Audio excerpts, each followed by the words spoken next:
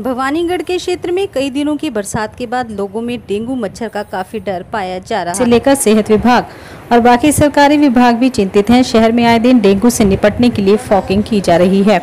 लेकिन इसके बावजूद यह देखने में आया है कि लोगों को मच्छर से बचाने वाले बड़े बड़े दावे करते नहीं थकते, दरअसल उनके अपने विभाग ही डेंगू मच्छर से सुरक्षित नहीं है। बात की जाए तो नगर पालिका कार्यालय की पानी की टंकी, अस्पताल के बारे, बिजली बोर्ड के बारे, इन सभी जगह पर खड़े पानी में डेंगू मच्छर का लार्वा आम देखा जा सकता है। लोगों ने यह भी आरोप लगाया कि लोगों के घरों में जाकर, दुकानों में जाकर यह डेंगू मच्छर ले गए, चलान कर बड़े खुश होते हैं। इनके दफ्तरों में और पार्कों में डेंगू का लार्वा सरेआम दिखाई दे रहा है। इनका चालान कौन काटेगा? इस मामले में जब नगर काउंसिल के संजय बंसल से बात की गई तो उनसे पूछा कि वहाँ डेंगू मच्छर का बड़ी मात्रा में लार्वा पड़ा है।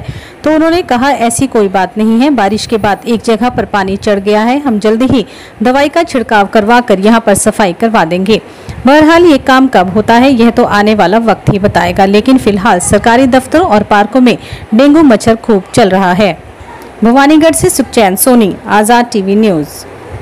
ਹਾਂਜੀ। ਸਰਕਾਰੀ ਥਾਵਾਂ ਦੇ ਉੱਪਰ ਜੋ ਕਿ ਡੇਂਗੂ ਦਾ ਲਾਰਵਾ ਤੁਸੀਂ ਦੇਖ ਸਕਦੇ ਹੋ ਖੜਾ ਪਾਣੀ ਗੰਦੇ ਪਾਣੀ ਦੇ ਉੱਪਰ ਡੇਂਗੂ ਦਾ ਮੱਛਰ ਦਿਨ ਦੇ ਵਿੱਚ ਵੀ ਹੈ। ਇਹਨਾਂ ਦੋਵੇਂ ਸੰਸਥਾਵਾਂ ਨੂੰ ਇਹ ਚਾਹੀਦਾ ਹੈ ਕਿ ਵੀ ਲੋਕਾਂ ਦੇ ਘਰਾਂ ਦੇ ਵਿੱਚ ਚੈਕਿੰਗ ਕਰਨ ਤੋਂ ਪਹਿਲਾਂ ਆਪਣੀਆਂ ਸਰਕਾਰੀ ਥਾਵਾਂ ਦੀ ਵੀ ਚੈਕਿੰਗ ਕਰ ਲੈਣ। ਲੋਕਾਂ ਦੇ ਚਲਾਨ ਬਾਅਦ ਦੇ ਵਿੱਚ ਹੋ ਜਾਣਗੇ ਪਹਿਲਾਂ ਆਪਦੇ ਘਰ ਤੋਂ ਸਫ਼ਾਈ ਅਭਿਆਨ ਸ਼ੁਰੂ ਕਰ ਲੈਣ। ਚੰਡੀਗੜ੍ਹ ਦੇ ਵਿੱਚ ਦਾਅਵੇ ਕਰਦੀ ਹੈ ਨਗਰ ਕੌਂਸਲ ਤੇ ਦਾਅਵੇ ਕਰਦਾ ਹੈਲਥ ਡਿਪਾਰਟਮੈਂਟ ਵੀ ਅਸੀਂ ਡੇਂਗੂ ਵਿਰੋਧੀ ਮੁਹਿੰਮ ਵੀ ਸ਼ਹਿਰ ਦੇ ਵਿੱਚ ਡੇਂਗੂ ਨਹੀਂ ਫੈਲਣ ਦੇਵਾਂਗੇ ਲੇਕਿਨ ਅੱਜ ਜਦੋਂ ਬਾਕਾਇਦਾ ਤੌਰ ਦੇ ਉੱਤੇ ਇੱਕ ਵਾਟਰ ਵਰਕਸ ਦੇ ਨੇੜੇ ਅਸੀਂ ਦੇਖਿਆ, ਤਾਂ ਉੱਥੇ ਵੱਡੇ ਪੱਧਰ ਦੇ ਉੱਤੇ ਮੱਛਰ ਤੀਗੇ ਜਿਹੜਾ ਸਾਫ਼ ਪਾਣੀ ਦੇ ਉੱਤੇ, ਕਿਉਂਕਿ ਡੇਂਗੂ ਹੈ ਜਿਹੜਾ, ਡੇਂਗੂ ਦਾ ਲਾਰਵਾ ਹੁੰਦਾ, ਉਹ ਸਾਫ਼ ਪਾਣੀ ਦੇ ਉੱਤੇ ਹੁੰਦਾ। ਇਹ ਸਿਹਤ ਡਿਪਾਰਟਮੈਂਟ ਵੀ ਮੰਗ, ਬਾਕਾਇਦਾ ਤੌਰ ਤੇ ਮੰਨਦਾ। ਤੇ ਕੱਲ ਮੈਨੂੰ ਮੌਕਾ ਮਿਲਿਆ ਨਗਰ ਕੌਂਸਲ ਦੇ ਵਿੱਚ ਜਾਣ ਦਾ। ਜਦੋਂ ਨਗਰ ਕੌਂਸਲ ਦੇ ਪ੍ਰਧਾਨ ਦੇ ਕਮਰੇ ਦੇ ਵਿੱਚ ਬੈਠੇ ਸੀ, ਉਹਦੇ ਨਾਲ ਵਾਲੇ ਦੋ ਕਮਰਿਆਂ ਦੇ ਵਿੱਚੋਂ ਉੱਠ ਕੇ ਅਸੀਂ ਬਾਹਰ ਆ ਗਏ। ਸਮੇਤ ਮੁਲਾਜ਼ਮ।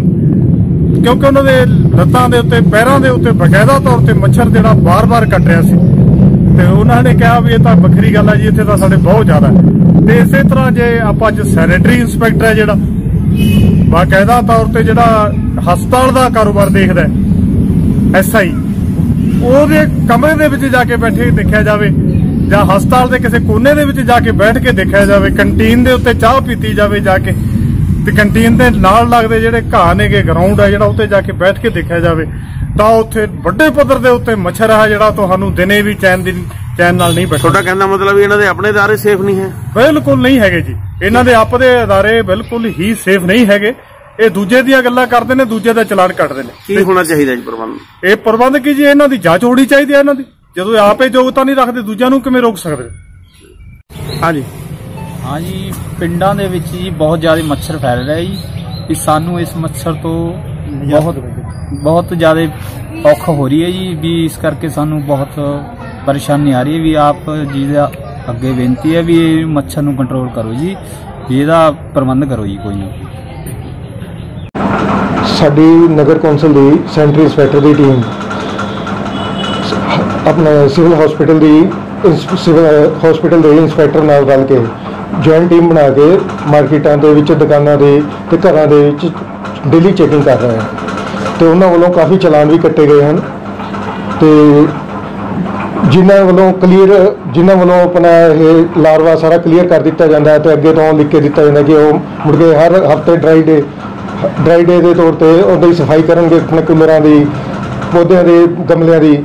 ਉਹਨਾਂ ਦਾ ਚਲਾਨ ਕੰਬਾਉਂ ਕਰ ਦਿੱਤਾ ਜਾਂਦਾ ਹੈ ਸਰ ਕਿਹੜੀ ਚਰਚਾ ਕਿ ਨਗਰ ਕੌਂਸਲ ਦੇ ਅਦਾਰੇ ਆਪ ਸੇਫ ਨਹੀਂ ਹਨ ਤੇ ਫਿਰ ਕੌਣ ਚਲਾਨ ਕੱਟੂਗਾ ਸਰਕਾਰੀ ਅਦਾਰਿਆਂ ਦੇ? ਨਹੀਂ ਨਗਰ ਕੌਂਸਲ ਦੇ ਵਿੱਚ ਕੋਈ ਵੀ ਅਜਿਹੀ ਜਗ੍ਹਾ ਨਹੀਂ ਹੈ ਇੱਥੇ ਵੀ ਡਰਾਈ ਡੇ ਹਰ ਸ਼ੁੱਕਰਵਾਰ ਮਨਾਇਆ ਜਾਂਦਾ ਹੈ। ਪਾਣੀ ਦੀ ਟੈਂਕੀ ਦੇ ਕੋਲ ਬਹੁਤ ਲਾਰਵਾ ਮੱਛਰ ਦਾ ਤੁਹਾਡੀ ਜਿਹੜੀ ਪਾਣੀ ਦੀ ਟੈਂਕੀ ਹੈ। ਨਹੀਂ ਸਰ ਉੱਥੇ ਕੋਈ ਉੱਥੇ ਦਵਾਈ ਛਿੜਕਾ ਰਹੇ ਜੀ ਇਹ ਬਾਰਿਸ਼ਾਂ ਕਰਕੇ ਥੋੜਾ ਜਿਹਾ ਪਾਣੀ ਖੜਾ ਹੋ ਗਿਆ ਸੀ ਉਸ ਕਰਕੇ ਹੈ ਜਸਟ ਫੋਗਿੰਗ ਵਗੈਰਾ ਦੀ ਅਸੀਂ ਰੂਟੀਨ ਸਾਡਾ ਡੇਲੀ ਦੀ ਪ੍ਰੋਗਰੈਸ ਬਣਾ ਰਹੇ ਹਾਂ। ਉਹਦਾ ਚਾਰਟ ਬਣਾ ਰਹੇ ਆ ਉਹ ਡੇਲੀ ਕੀ ਡੇਲੀ ਫੋਨਿੰਗ ਹੋਇਆ ਕਰੋ। ਤੇ ਆਪਣੇ ਰਾਰਾਂ ਨੂੰ ਵੀ ਰੱਖੋਗੇ ਸੇਫ ਨਾਲ। ਹਾਂਜੀ ਹਾਂਜੀ ਬਿਲਕੁਲ ਸੇਫ ਕਰਾਂਗੇ।